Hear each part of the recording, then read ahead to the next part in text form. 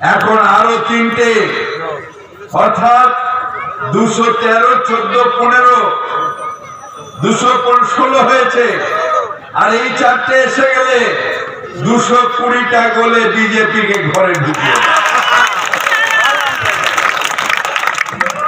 আরেকটা মোটা এসছিল এখানে। মোটা ভাই। বিরাট মোটা ভাই। बोलते हमारा बहत्तर इंच छाती है हमारा बहत्तर इंची छाती है আমি বললাম বাপু তোমার যদি বাহাত্তর ইঞ্চি ছাতি থাকে আর ওই রকম চেহারা থাকে তাহলে জামা কাপড় খুলে ফেলে খুলে একটা ছোট্ট লিঙ্গুটি পরে নাও পরে নিয়ে এরকম এরকম করে সুমো রেসলারের মতো কুস্তি লড়তে চলে আসো ফটফট করতে করতে রাজনীতি করতে এসছো আরে রাজনীতিতে মমতা ব্যানার্জি শিখিয়েছেন, ছাতি দেখিয়ে নয়, মাথা নিচু করে ঘাড় নিচু করে নমস্কার করে বলতে হবে, আমি আপনাদের সেবা করতে চাই, তাই আপনাদের আশীর্বাদ চাই। এখানে রংবাজি করে নয়, ছাতি দেখিয়ে নয়, হাত জোর করে, আর মানুষের সামনে কৃপা করতে চাইতে হয়। এটাই রাজনীতি। এটাই রাজনীতি, এটাই মানুষের মমতা ব্যানার্জির শিক্ষা।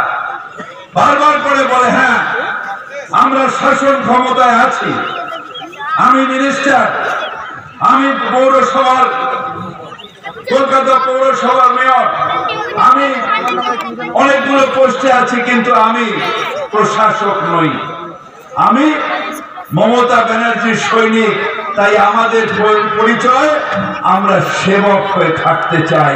আমরা প্রশাসক হয়ে থাকতে আমরা সেবা করতে চাই আর ওরা দখল করতে চায় বিজেপি দখল করতে চায় দখল করে নেব ওই মোটাটা এসেছিল ইসবার বঙ্গাল করলে বঙ্গাল করলে আমি বললাম ওই বাবা বসি এসছে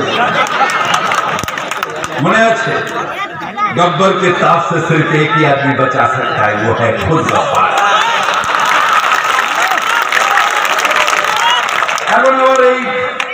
যে এখানে, এই যে বর্ডার আছে, আমি সেদিন গেছিলাম। বনগা এদিকে যে বর্ডার ওখান থেকে নাকি পঞ্চাশ কিলোমিটার দূর পর্যন্ত বিএসএফ দেখবে।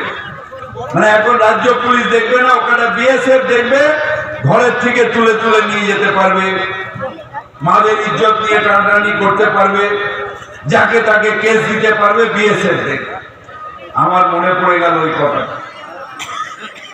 সেই पचास पचास कोस दूर जब माँ रोती है या बच्चा रोता है तो माँ कहता बेटा सो जा नहीं तो मोदी आ जाएगा বিজেপি কে ভোট দেয়নি রাজ্যের মানুষ বিজেপি কে রাজ্য থেকে তাড়িয়ে দিয়েছে তখন এমএলএ বললেন আমার আর এমএলএ গিরি করে লাভ নেই কা লাড্ডু মোদির বসে খাই তাই এমএলএ পালিয়ে গেল যে দল তাদের নিজেদের অস্তিত্বের জন্য আমি অপোজিশনে এমএলএ ছিলাম। রত্নারা তখন ছোট, আমায় দেখেছে। আমিও এমএলএ ছিলাম, কিন্তু কখনো তখন যে পালিয়ে গেছি, এটা হয় না। কিন্তু এই এখানকার এমএলএ কে দেখলাম। যে পালিয়ে গেল আমি বাবু এমপি তে থাকব মোটা টাকা মাইনে পাবো মোদির দিন গোলে ঘুরবো আর দিল্লি কালার খাব। ধিক্কার। ধিক্কার এই দলটাকে। যে দল মানুষের বিশ্বাসের মর্যাদা রাখতে পারে না সেই দল একটা দল নয় এটা একটা ধান্দাবাজদের দল। সেই দলটার নাম বিজেপি অনেকে জিজ্ঞেস করেন আচ্ছা আপনারা বিজেপির বিরুদ্ধে কেন? আমরা বলি আমরা বিজেপির বিরুদ্ধে এই কারণে। তার কারণ আমরা বাংলার মানুষ। আমরা রবীন্দ্রনাথের শিক্ষায় শিক্ষিত।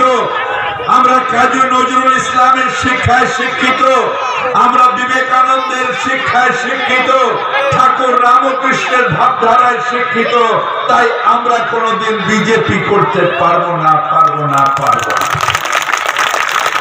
তার কারণ একটা বর্বর দল, একটা অসভ্য দল। যে দল গুজরাটের দাঙ্গায় দু হাজার মানুষকে খুন করেছে। যে দল মুজফরনগরে দাঙ্গায় মানুষকে খুন করেছে। এই কিছুদিন আগে দিল্লিতে দাঙ্গা করেছিল। কিছু মহিলারা বলেছিল, আমরা এনআরসি মানি না, আমরা সিএ মানি না। সেই মহিলারা যখন ওখানে দাঁড়িয়ে অনশন করছিল, তাদের অনশন ভেঙে দেওয়ার জন্য